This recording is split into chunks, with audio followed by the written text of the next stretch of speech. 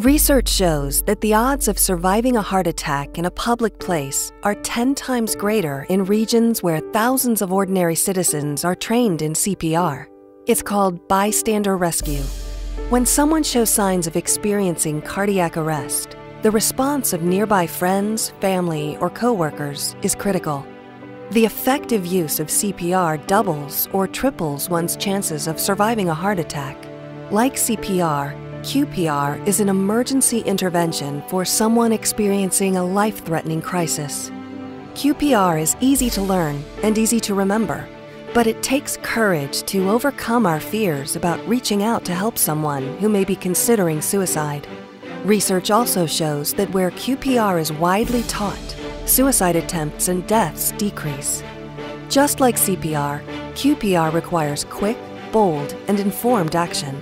Because suicide, like heart attacks, remains a rare event, we must train hundreds to save one, thousands to save hundreds, and millions to save thousands.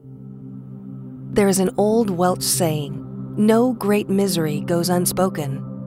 When we have a toothache, we tell people, we don't hide our pain. But because of the stigma and taboo around the word suicide, Many people considering suicide don't speak plainly about their suffering. They fear our rejection. They fear that if they say something, we will ridicule them or make fun of them.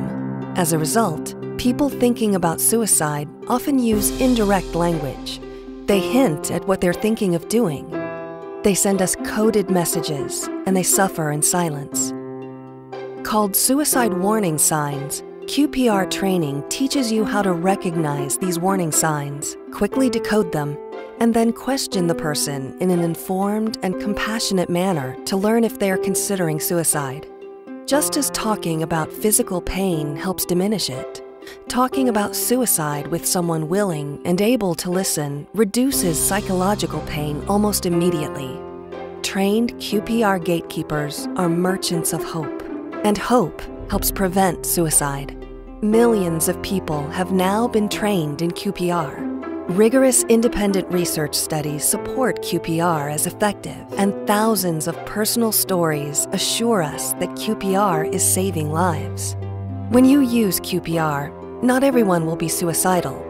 Some people are simply stressed to the breaking point, but they still need help. Help you can give. Please note that you cannot put the idea of suicide into someone's mind. People are either thinking about suicide or they're not. The fear of putting the idea of suicide into someone's head is a myth, a myth that keeps us from acting when we should do just the opposite.